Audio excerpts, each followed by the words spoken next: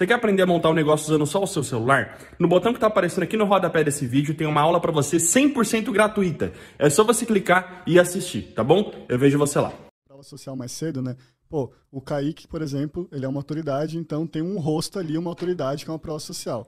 Outro Sim. tipo de prova social seria um depoimento.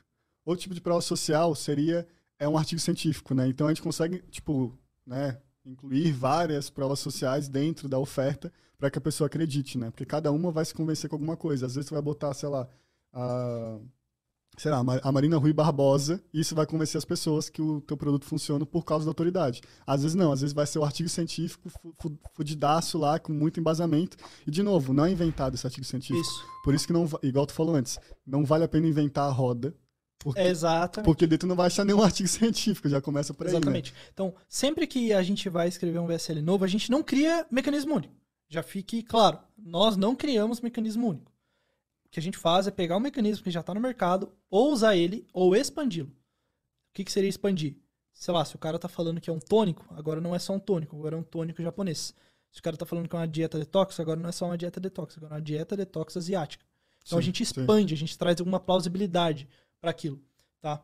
Então, é, criar mecanismo único, se você fosse criar, é um science dele. É você procurar alguma fonte científica que comprove aquilo, porque de sim, fato no rodapé sim, das sim. nossas páginas tem ali os links de ah, negócio científico, porque já me disseram, o João Campos já me disse daí uma vez que o Ministério da Saúde pode encrencar se você não tiver lá as comprovações.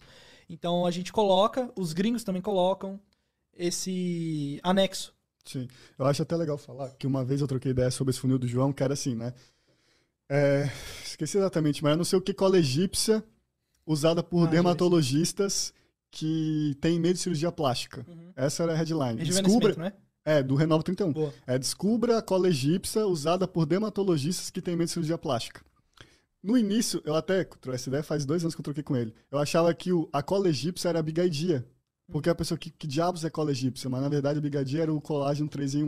Uhum. Que era o artigo científico Sim. lá baseado. Então, a cola egípcia foi o nome que ele deu para a pessoa pensar que diabos que é isso. Para quando ela entrar lá e provar que na verdade o, o mecanismo era o 3 em 1, né? Exato. Então, ó, eu já criei um produto físico uma vez que era uma progressiva de chuveiro. E essa progressiva de chuveiro tipo, era meio maquiada com ah, um condicionador. Um condicionador melhor. É tipo um condicionador up. Entendeu? E daí, cara, uma vez a gente testou um anúncio que era falando assim: olha, use formol. Todo mundo fala que usar formol não faz bem. E de fato não faz. A gente fala, use formol, esse é nosso produto que tem formol. Clique e veja o nosso produto com formol. Uhum. Aí que tá. Ué, mas caramba, ele tá falando pra usar formol? Como assim ele tem formol no produto dele? Só que na nossa comunicação da COP, a gente falava que o negócio era tão bom, mas tão bom que era conhecido como formol.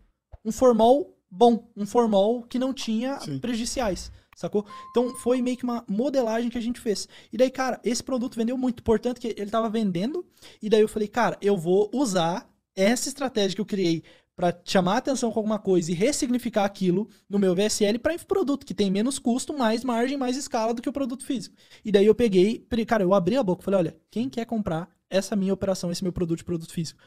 E um dia eu vendi o produto, eu peguei tipo, fiquei com o lucro que eu já tinha vendido, uhum. fiquei com os leads e ganhei dinheiro pela criação do produto. Caramba, que legal, cara.